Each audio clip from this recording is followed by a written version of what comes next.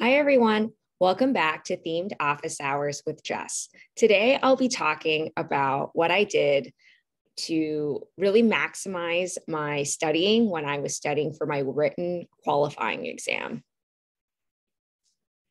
So these tips are essentially good for studying for any kind of closed book exam, I, although I will be talking specifically about my experience for the um, doctoral written exam that I had to take. Um, but I do want to say that like one of my most hated things, like top of the list, is studying for a closed book exam. It's so nerve wracking, so stress inducing. I hate memorizing material that I feel like I, I can just look up on my day to day life. So um, just want to say that, you know, I definitely struggled through this process. And this is sort of what I learned and what I did um, that sort of worked for me in getting through this painful process of studying for this closed book exam. So, a little context about what my um, doctoral exam was like. Um, I took it at the end of my second year um, when we were done with all of our coursework. Um, and it was a full day timed closed book exam. And essentially, anything on our required coursework for the past two years was fair game to be on the exam. So it was a lot of sort of um, health behavior um, and social epi theories, as well as um, some methods, um, as well as econometrics um, models. The way our exams are graded is um, you can have four possible scores an honors, pass, or marginal pass. And those three are all considered passing scores, or you fail.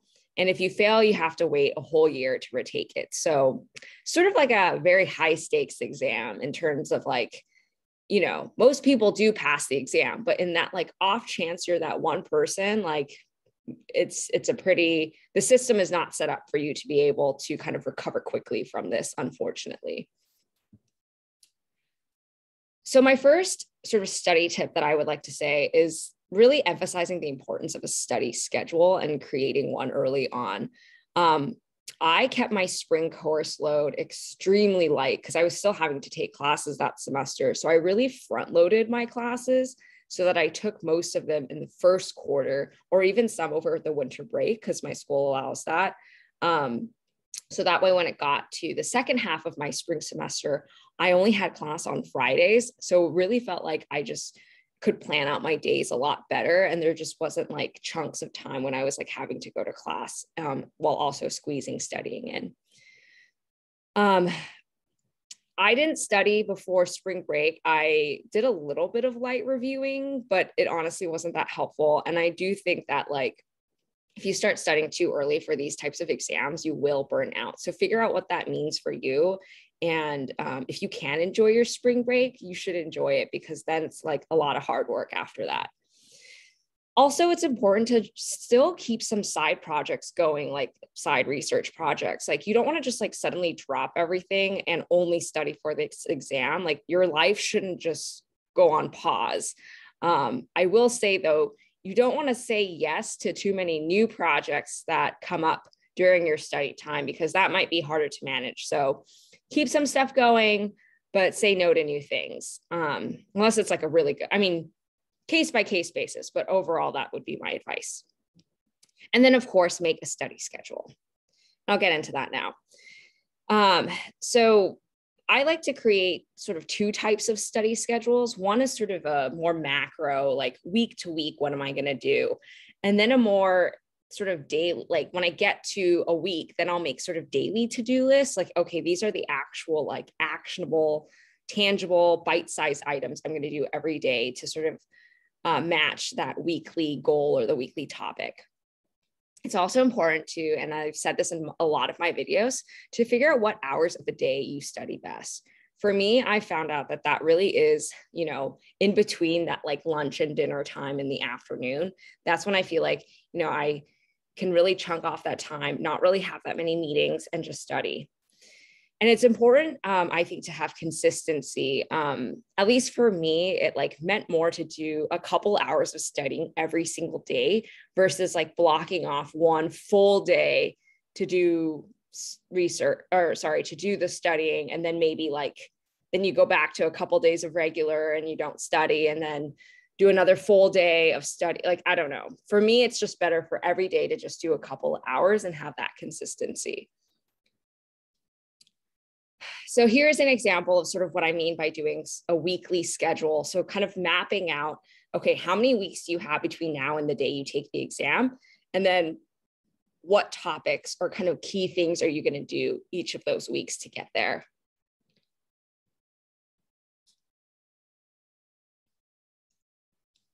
And then um, I would recommend making an hourly schedule.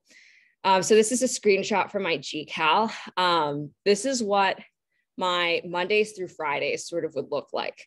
So I would have generally scheduled all my meetings in the morning.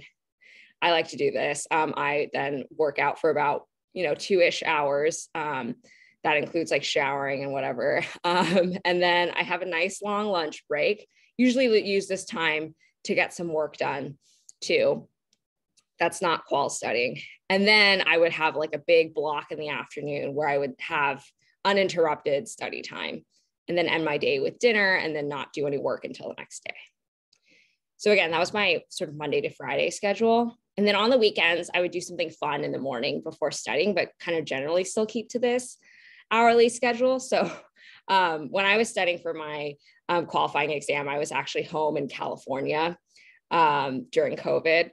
So I would like just go to the beach in the morning and like go for a walk there and get outside and, you know, enjoy the fact that I was in Southern California and not Boston, Massachusetts. Um, and um, that just was like a nice way to kind of still be able to enjoy the weekend, get out of the house.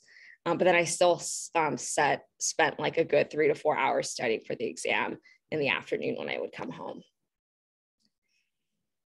My second big tip is group study. This is so important um, to have organized group study time, especially with your cohort um, or the people that you're taking the exam with, um, to kind of together go through that weekly schedule of topics. Um, my group actually did teach ins. So every week we took turns.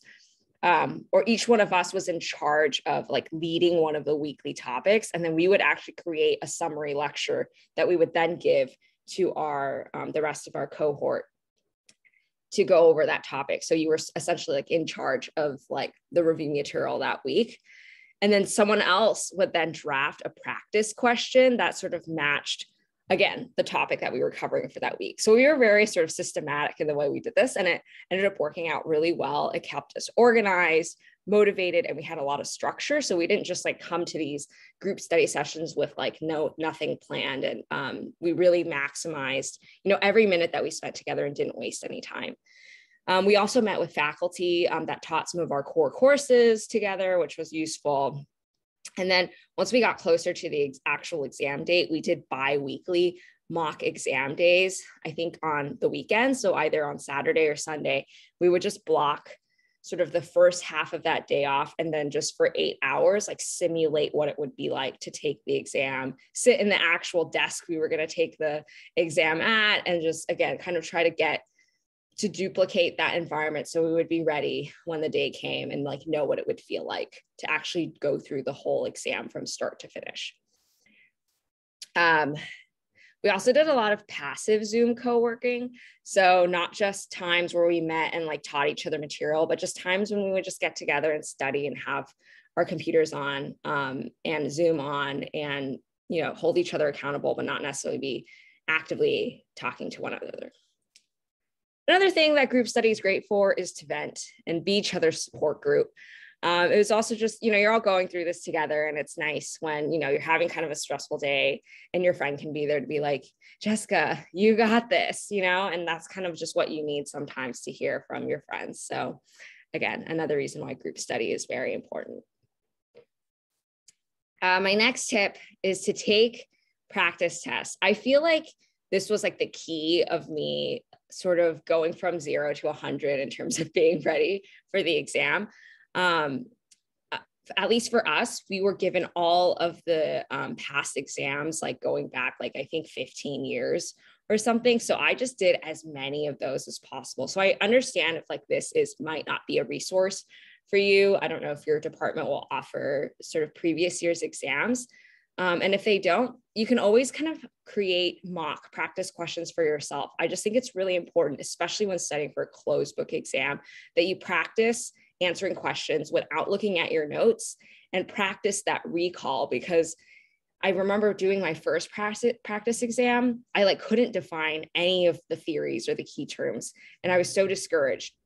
But the thing is, the second and third time I um, went back and did another practice exam, I was shocked that I suddenly like could remember everything. So really, it's just practicing that recall can be so helpful. My next tip is to pace yourself. I think this is really important because it can get really easy to feel overwhelmed and then want to kind of overstudy. Um, so don't overstudy. Um, you will burn out. I definitely burned out, even though I was pacing myself. Um, so it's important to take days off. I think you have to remember that you've been learning this material for years. So it's not like you're studying stuff fresh and you're having to spend a lot of time learning it. Like you're just sort of doing a very deep review of stuff you've already learned, and you are very capable and very smart and can take days off and still be okay for the exam. It's important to still enjoy your hobbies, like to still work out and get outside. I definitely kept that as a priority. Um, sleep, um, still get enough sleep and eat well. Again, this is a marathon and not a sprint.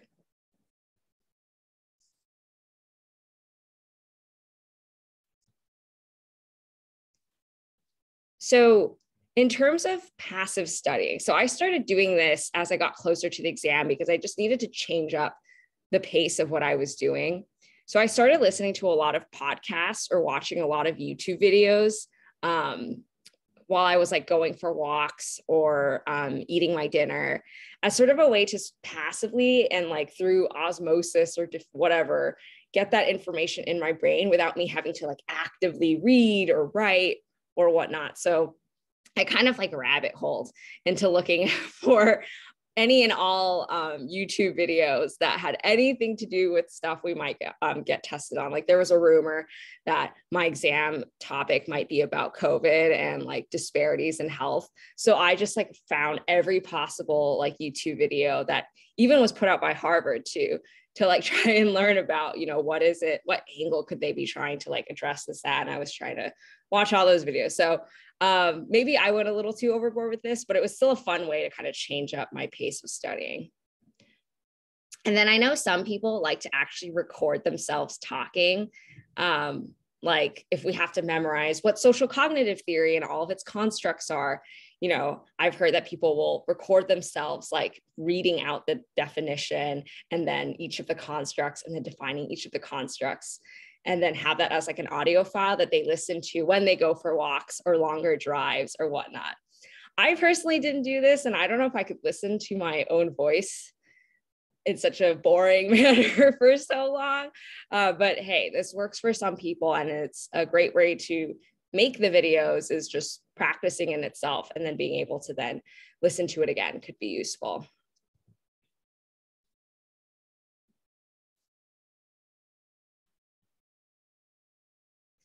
sorry, my PowerPoint's having some issues. I don't know why. Um, but my last tip, we're almost done, is to just aim for the pass. Like, again, I don't know how your institution does things, but for us, like no one really like see, only my advisor sees my grades, I think. Um, so really like there's no difference between an honors, a pass or a marginal pass or whatever. So just aim for the pass when you're applying to jobs in the future, no one is going to ask you how you did on your qualifying exam. They just care that you passed and you ended up ultimately graduating. So, you know, just keep that in mind. You don't need to be perfect, you just need to pass. And that should sort of help you with like keeping that school life balance as you're studying for this exam. And that's that's it. Thank you so much. Um, good luck to you all who are probably studying for some kind of exam right now. Um, and let me know if you have any questions. Thank you